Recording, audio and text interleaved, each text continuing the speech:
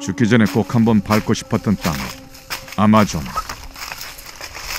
지금 저기 안쪽에 이 아마존 돌핀이죠. 분홍 돌고래하고 수달이죠, 수달. 수달 떼들이 들어와가지고 지금 그 빅곡베스를 사냥을 하고 있습니다. 강한 녀석만 살아남는 밀림의 법칙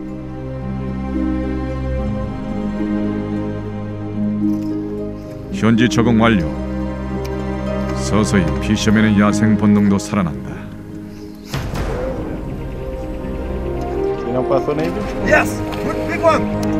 무엇을 상상하든 그 이상을 보여줄 박무석 프로. 아마존의 강렬한 히트 타임. 이제 시작이다